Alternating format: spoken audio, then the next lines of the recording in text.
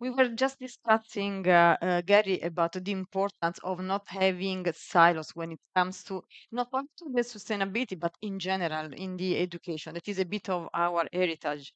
And talking about that, you are the president of the World Academy of Art and Sciences.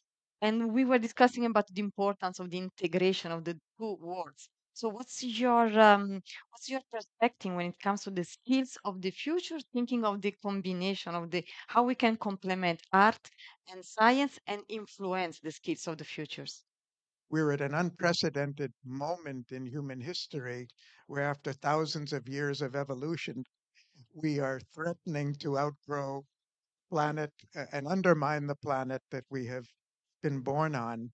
And clearly that means that it's not the planet that's going to change or has to change, it's we who have to change.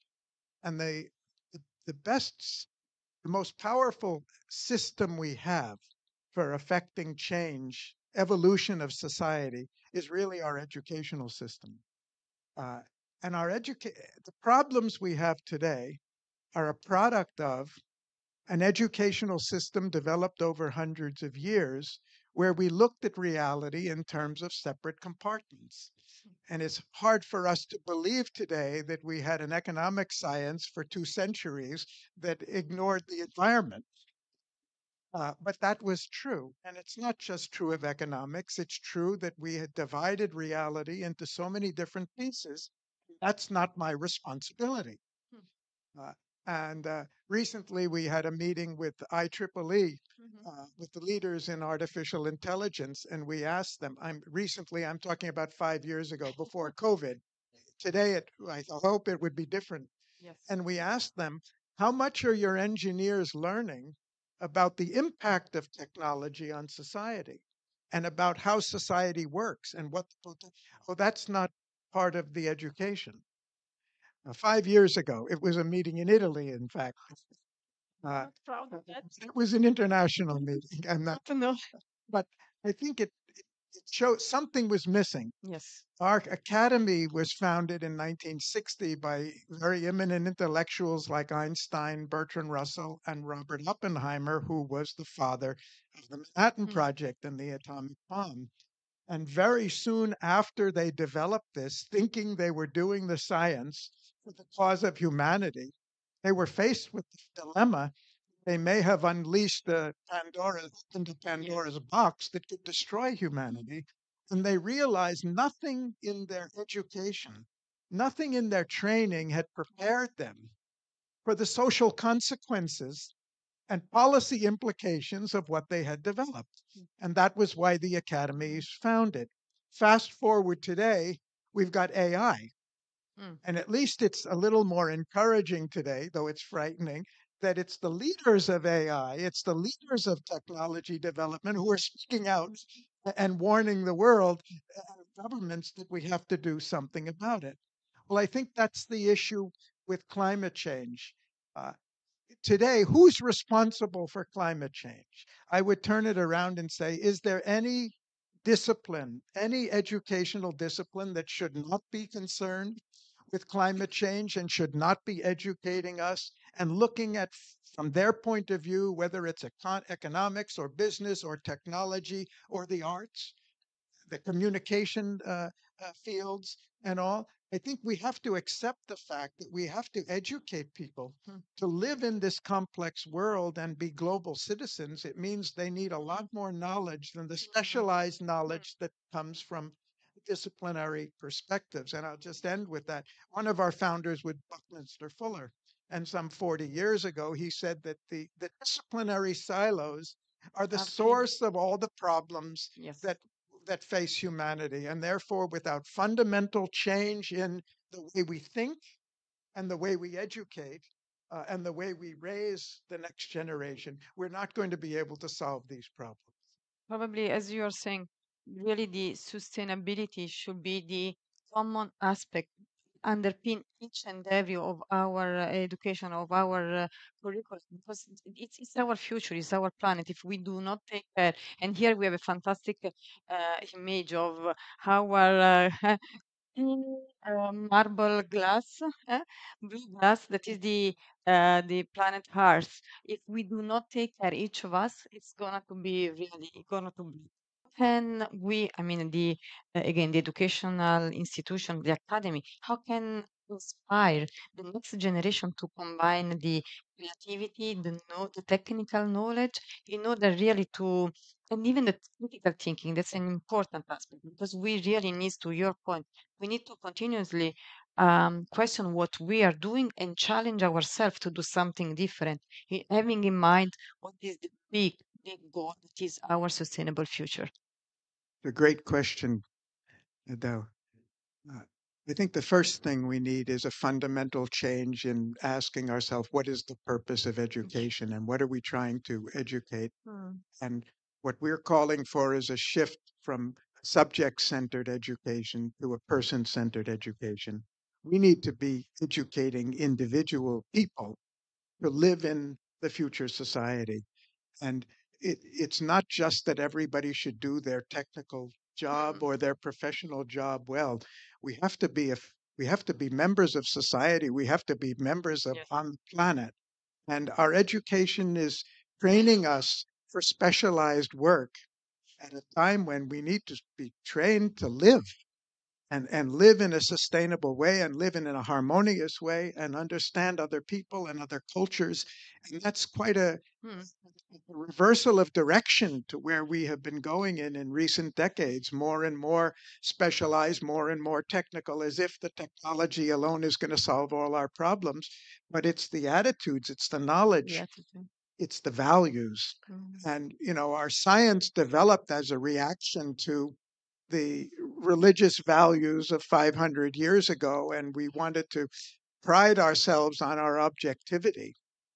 But the values of the individual are absolutely going to determine uh, the, f- the future of the world and that's what i was illustrating with the founding of the academy. The scientists realize it doesn't matter how good we are at nuclear fission it matters how good we are at valuing humanity and the survival of the planet and not just our career advancement but our contribution to humanity that's one the second one i'd say is really important is we need an education that's really life centered.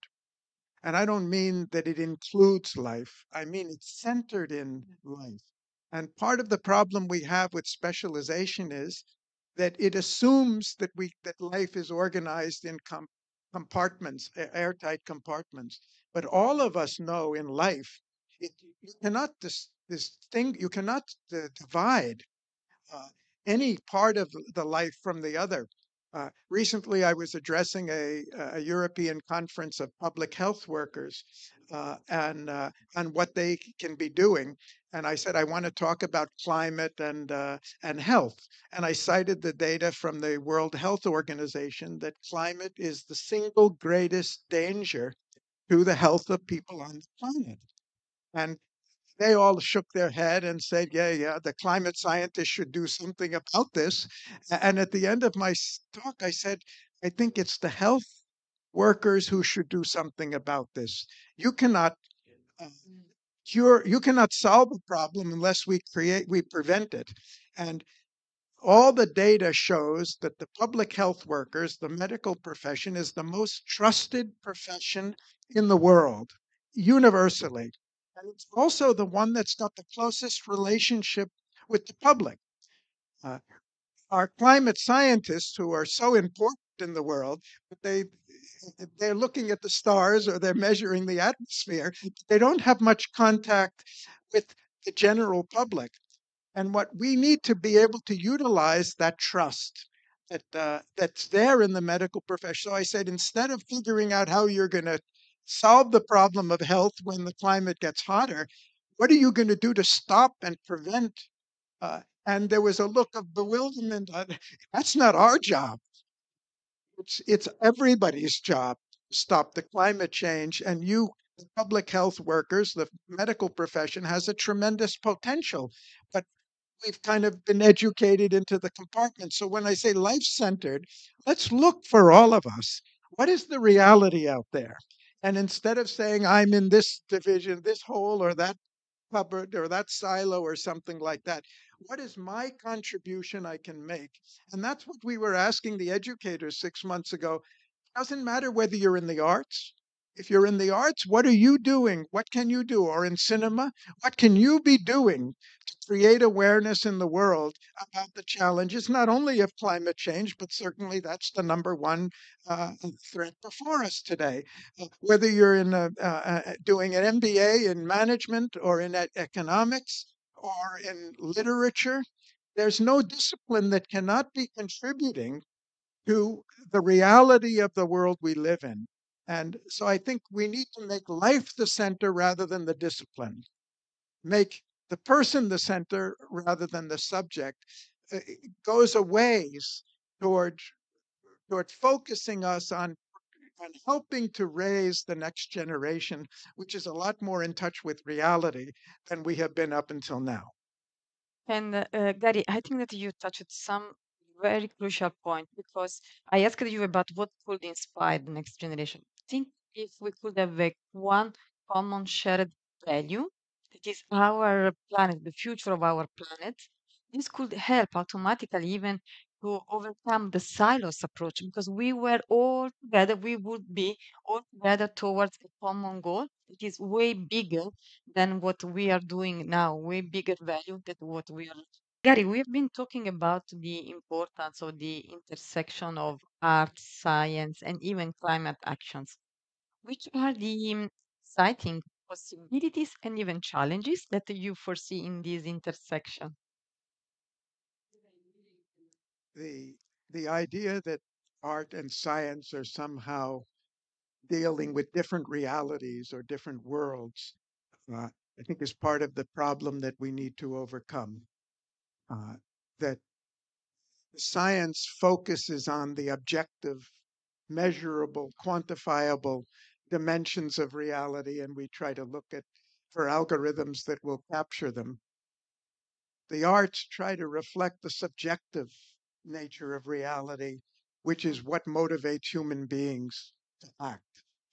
Now we're in a situation in the world where we've got all the objective data of science to tell us that we're on a collision course with the future. Hmm. And yet we know collectively mm. that we're still not doing what we need to do. That the emotional commitment of humanity, of our leadership, mm. in all areas, we can we have outstanding examples of individuals and organizations that are pioneering in new ways. But this is a global issue, and it can't be done just by political figures who have to ultimately be elected by the public. Uh, it can't be done just by business leaders who are accountable to their shareholders. It's got to be Collective. by Collective. collectively of humanity. Mm. And, you know, I think the sustainability, what was said about sustainability is absolutely right and true. But we have to ask a question Is that what's going to motivate humanity to take the, the, the fundamental changes they have to make? Uh, we had the uh, Rajendra Pachauri, who was the chairman of the IPCC. He was on our board. Uh, he was uh, for 13 years. He was the chairman of IPCC, and we and he made wonderful analysis as the IPC has done to the world of the facts. The question is, who is it reaching, and how much is it motivating global society to change in all fields, even in education, which is what we've been discussing. And that's why uh, the focus we have been taking is put the in the human individual at what does this mean to people? Okay, CO2 levels are going up and uh, migration will be there and uh, jobs will be lost or something will be happening. But people respond to their needs. Mm. And when we look at climate in terms of its impact on people, in terms of food security, in terms of health, which we've been discussing, uh, in terms of the uh, the stability of jobs in the economy and the political system, which is now being divided by polar forces and everything. Uh, climate becomes not just for the sustainability of the planet, it becomes for each individual. And so what I when I talked about life centered, hmm. what I really meant is person centered. The message should touch each person as what it means to them. Mm. And it's great to hear that the physicians, you know, are are doing they're doing a wonderful work in the world, even uh, as as always. But reaching out and touching the, hum, the the society, that's what we haven't done as effectively as we can, in spite of wonderful efforts uh, all along. So I think when we talk about arts, what we're really talking about is how important is our knowledge and our skill and our capacity to communicate with others, not just in terms of marketing, but in terms of understanding and reaching them to the point where they will understand and act. And the arts Mm. represent, whether it's literature or cinema uh, or uh, or in any of the arts, it has been the, the field in which human beings have shown their capacity to communicate their humanity and move other people to action by that. And just to take a Mm. superficial example, which many of you may know, uh, a few years ago, UNDP developed this video on the dinosaur talking about extinction, um, a a 90 second video and it was put on the UN Hmm. site website alongside a speech by the Secretary General.